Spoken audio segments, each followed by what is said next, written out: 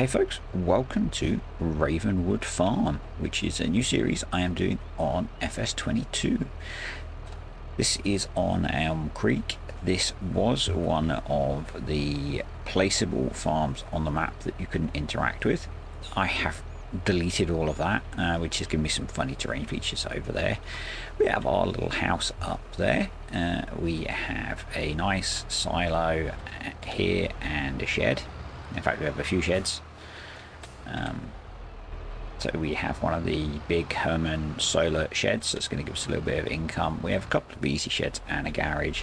And because Ravenwood Farm is a dairy, we have a couple of cow sheds. Um, so those are the big cow sheds which hold 80. We only have 40 in each. Um, so we have some brown Swiss in one and some Holstein in the other, just for a bit of variety. Uh, and we've got a pretty well equipped farm to be honest. We've got this uh, the Fendt Black Beauty 942 we've got the John Deere that you saw over there. Um, we have another John Deere 6M just there and a JCB telehandler. Uh, we've got most of the field working equipment that we need. Uh, some of it is not massive some of it is so there'll be some need to upgrade and really this series is about playing with cows and running a dairy and learning a bit about FS22. Uh, so we've got a couple of bunker silos there as well for some silage. Um, up at the store we have a Mack truck waiting with a flatbed because we have a field of sorghum and a field of oats, both of which the oats are ready to harvest, the sorghum is not, uh, and we've got a bunch of empty fields as well. So if I just jump in the map, uh, we basically own this plot of land here. Um, so field 61 and 62, I put the two cow sheds in and I have ploughed the remainder in to field 63. Uh, field 64 and 65 are quite small, so I've ploughed those together. 66 and 67 were there. Again, they were quite small. They now have our bunker silo. The terrain's a bit funny. And one of our easy sheds. Uh, that's okay. Uh, so I've done is I'm going to plough these two together and uh, plant grass in there. We're going to plant grass in the field that runs around the two sheds. Um, not sure what I'm going to do with the top field up there. It's quite small. Um, and then we have our three slightly larger fields. I may actually plough them together into two. I don't know. Um, because of how animals work at the moment, we don't really need to be growing too many crops. We want a crop for straw, obviously, which we've got oats, and we want something for silage, which will probably be corn. Uh, so I may plough those two together into a single field as well. Uh, but we need a combine. We do not own a combine. We can't really afford to buy one, particularly as we're also going to need a forage harvester to. Uh, we're going to turn the sorghum into silage. So I'll meet you back up at the store in a second.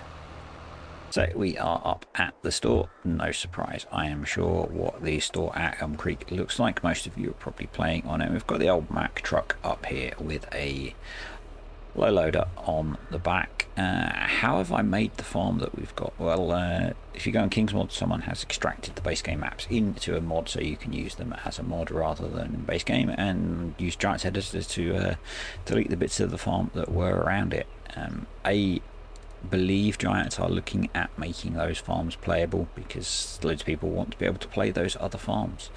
Uh, also, the store have a forklift up here for us to use if we need to.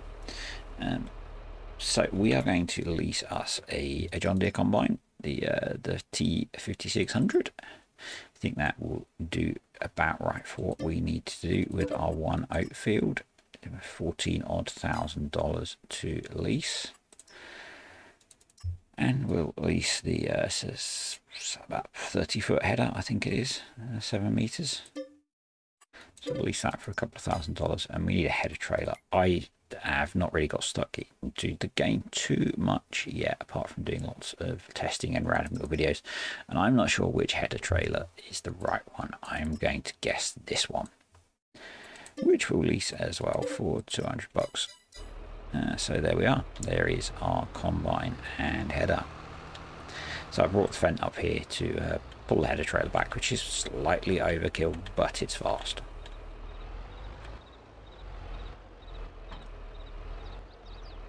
if we jump in the combine. Uh, so if you're wondering about all of the stuff in the bottom right hand corner, that is enhanced vehicle, uh, which is, I'm not sure if it's still in preview only or whether it's been released yet. I think it's still in preview, um, but it's a mod that I really like in FS19. Uh, I used it until I picked up Vehicle Control add-on, which I think is also in development for FS22. Looks like the header will fit on this trailer. Um, the nice thing about this is it sort of has GPS built in to enhance vehicle. Um, what it doesn't do is doesn't do implement width if you watch some of my other videos I've said that a few times but it does give you a heading hold feature which is really nice so we'll get this on the back of the low loader and we'll head off to the farm it might have been quicker just to get a worker to drive this down to the farm to be honest than uh, messing about putting it on the back of a trailer but I thought it'd be fun um, and I've got this trailer because there aren't yet many good flatbeds or low loaders. Oh, this doesn't fit. And this is not a brilliant one because they're all quite narrow, so they don't really fit a combine. This is not the biggest combine in the world either. You imagine trying to get an X9 on here? I'm going to give up on that. I also forgot to reset my character. I'm just going to uh, get a worker to drive that down to the farm, I think. Uh, create job, go to... Uh, we get him to drive to there. That should work. And uh, we'll worry about getting the uh, truck picked up later. We'll drive the Fendt back down with the header on the back means we should be able to follow the combine and see how well the worker does. Um, I have had workers drive that route fairly regularly, getting stuff down to the farm, although in the end I did put on store deliveries, uh, which is available now. I've switched it back off now we're playing because I prefer to uh, run to the store for stuff generally. We're a bit faster than the combine, obviously probably use this tractor to uh, cart for the combine. We've got a little uh, grain trailer down at the farm. Haven't gone with the auger wagon route because nothing's far enough away yet that we need to worry about that. Still learning my way around. Any cut down there? No, we'll go the way we came. Oh, helper G, where are you going?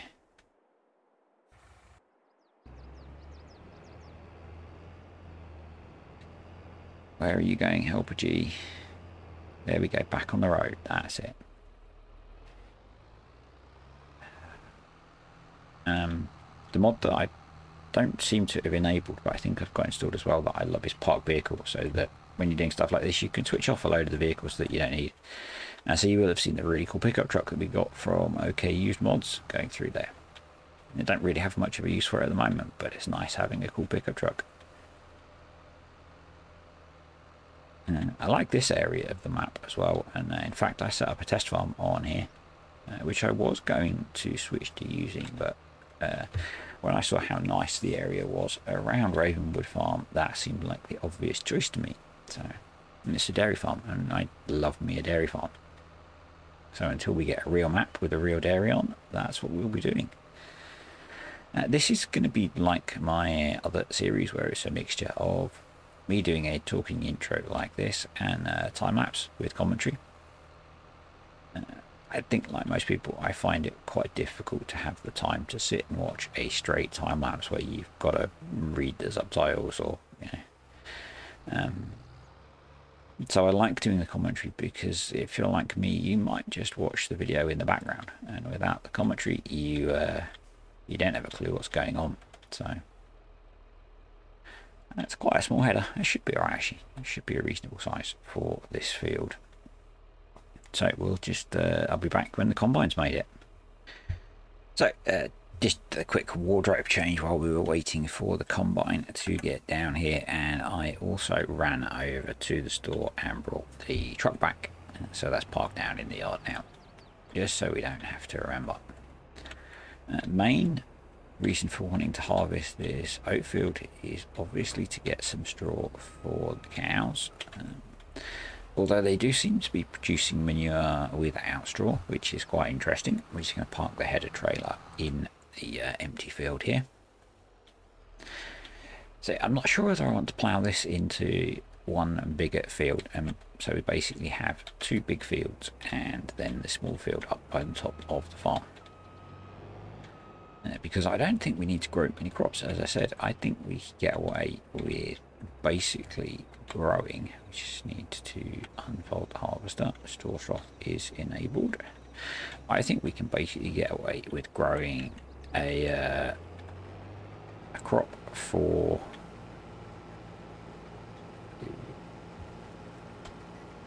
if you control end sets the heading lock so we're locked on to 270 degrees now um, yes I think we need to grow a crop for straw so something like wheat barley or oats as we have here and I want to grow maize for silage obviously but that's about it. The rest would be cash crops. Now maybe we want to get into some cash crops.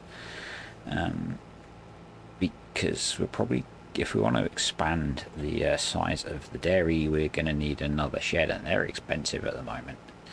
Uh, those Herman sheds are not cheap. Um, so that's an option that we may look at doing. So we're just missing a bit. That's darn annoying. Um, let's back up a bit. So this field is not square.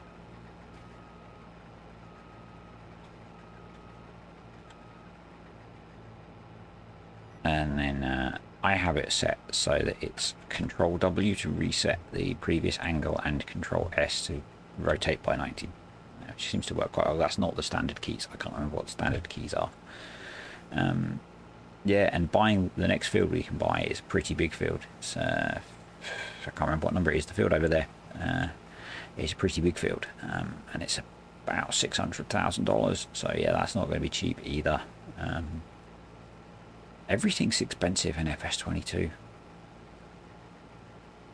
sure you've all seen that as well. Everything's expensive. Um,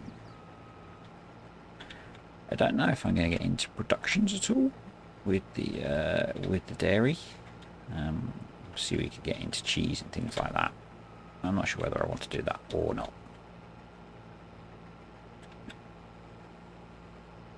So current priority is uh, get these oats harvested and the straw baled. We only have a small round baler, which is going to be interesting. Definitely an area we want to upgrade in the future. And then I think there's a couple of days and the uh, will be ready and we will be chopping that for silage to go into one of the bunkers. Um, probably between the two we will get our grass planted because we don't really have any grass available. We have a small number of bales that we uh, brought as we were setting the farm up and that's about it. So we uh, and because we can't feed straight silage to cows anymore unless someone wants to work out to decode the animal feed XML so that we can edit that easily. Um, we're going to need some grass so we can make some hay so that we can make TMR. So that's kind of a priority. We have some headland areas, I guess, that we could mow to make hay. I think we own those areas up to, the... Uh... So the farm is down this bottom corner. Yeah, we, we do own up to the road, so we could mow those and get a little bit of hay, I guess. We may resort to that We may resort to that. Um, we have a $250,000 loan as well. Um, setting up the farm cost more than that, but it's a giant's map. You have to set up the whole farm. If it was a modded map, you would just buy the farm area for a lot less. There's a field there. That's why you were cutting a big headland, you idiot.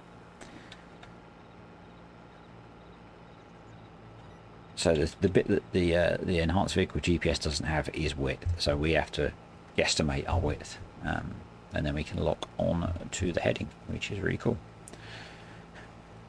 I think that's enough of a rambling introduction. So we'll get into the time lapse bit of the video now. Um, basically going to get this field harvested and get the straw baled and stacked, I think is my goal.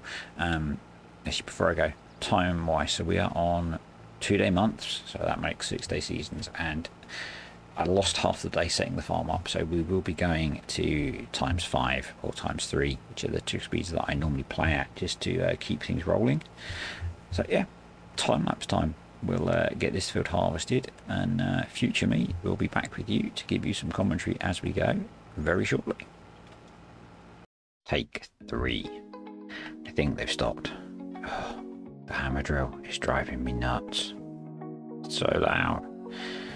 Anyway, uh, we're going to stick a worker on here and we're going to jump in the Fendt and go grab our grain trailer which is the actually before we do that quick look at our bale store and the JCB telehandler. That's all the bales we have to keep things going until we can get some grass growing and some silage going. We've got the sorghum silage but we need grass because we need hay because you can't just feed silage. So we have the Brantner Power Cube as our grain and silage and pretty much everything trailer. Um, not used that before, new to me, new to FS maybe, I'm not sure. Um, anyway, back in the combine and running the harvest. It really annoys me that the screens don't show what you're doing, um, so showing beans of some sort. Hopefully modders will get on that and uh, give us some more useful stuff in cab. That would be cool. We've got about 16,000 litres of oats off of this field. Mainly we need the straw, obviously, for the cows, um, but we'll sell the oats in January when the price peaks. Need to do a bit of landscaping there. Um, I'm not a fan of the current landscaping placeables system where you can't adjust the height of things you place. It's a bit annoying. So we're going to have to do a bit of work there to smooth all that out and make it look a bit more natural. We're now going to jump in the 6 M. I think it's an M. Yep. I really love this little tractor, and we're going to run the baler and just checking what size bales the bale shredder can take. But it doesn't seem to have a problem, so we're going to go for the 180 centimeter bales. Now, I really liked this tractor when it was released in FS19 when Giants teamed up with John Deere to release it. It's a cool little utility tractor. Uh, what size bales are we going to get? Um, my first time baling straw, obviously with the different size bales and the different shape bales, you get different amounts. 11,000 litres of straw, um, and with grass or hay and straw, you get different amounts too, which is really cool. I'm assuming it's based on the crop's density. Um, yeah, the more dense the crop is, the more litres of it you can stick. I know that makes no sense. I'm not sure. The volume of the bale is fixed. That's weird.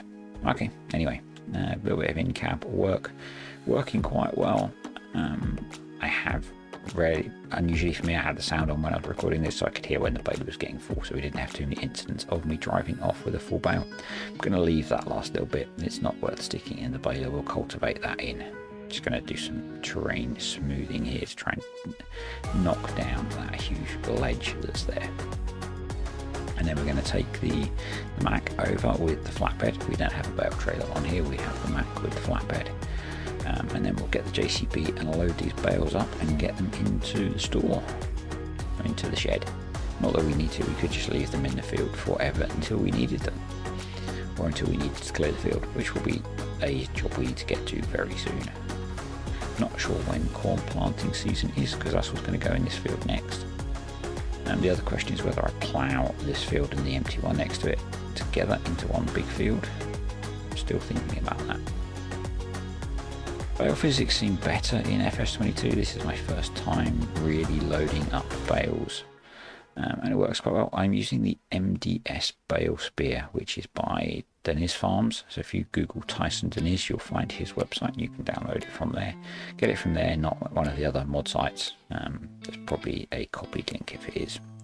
We're going to try and stick some straw in now. This is great fun because if you've used these sheds, finding the bale trigger is a nightmare.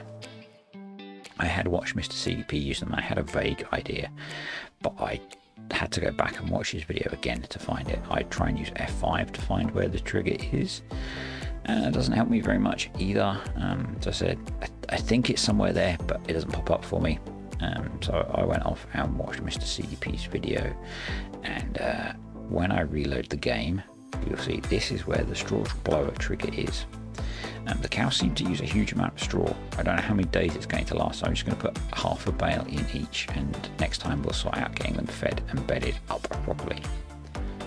Uh, I'm assuming it might be like base game 19 and it lasts 10 days, which if it does, that's okay, I guess. If not, these bales aren't going to last very long. Um, we'll get them in the shed for now, but a bunch of them are going to get blown into the cows before bedding. That just leaves me to say thanks for watching, folks. Hope you're enjoying the start of this new series. If you are, subscribe, ring the little bell. You'll get notifications of my daily videos. Leave me a like, leave me a comment, and I'll catch you next time on Ravenwood Farm.